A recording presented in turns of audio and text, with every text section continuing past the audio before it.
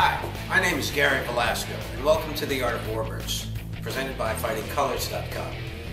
now, I get a lot of people and questions uh, of questions asking me, "What is it that you do? What is nose art?" Well, um, nose art is uh, a term, uh, modern, uh, somewhere uh, derived in the 50s, uh, that was a name, an insignia or a scantily-clad woman pinup uh, that was painted on the sides or the noses of aircraft, uh, hence the term nose art. And I specialize in this. I've been researching this for over 15 years and produced a product um, whereby it looks like we, you took a skin off uh, of the airplane uh, with the artwork intact. And we call these nose art panels, and that is typically our product and what we do day in and day out.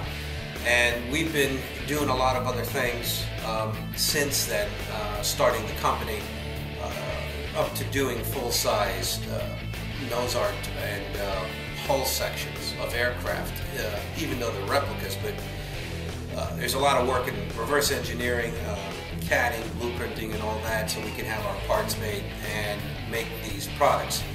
So this video blog um, will sort of get into the inside and how we do these things um, because we've gotten a lot of requests on, you know, what is it that you guys do. Uh, so this is sort of appease that that crowd and uh, if you're into airplanes um, uh, live and breathe it like I do. Um, I typically call those people wingnuts.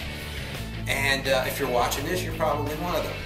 Uh, in any case, this is going to uh, serve as a little series and, and, an inside look as to what we do, how we do things, and some of the high profile projects in the field and here as well too for some of our clients and customers that come to us for something, something that's specifically uh, for them. Uh, in any case, having said that, we hope you enjoy the series, and uh, we'll be doing this uh, from, I guess, every other day or so, or whenever we deem fit to have something to, to show you. And uh, we hope that you enjoy it and come back again uh, to view more. Uh, look forward to hearing what you think, so feel free to, to, post a blog, email me, or whichever, and I'll see if I can get to posting answers to your replies, or reply to your questions. Anyway, um, enjoy.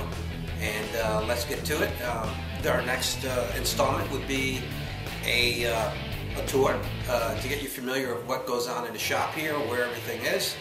Uh, and then we'll delve into some of the things that we're working on right now. So um, without further ado, I thank you and uh, I'll see you.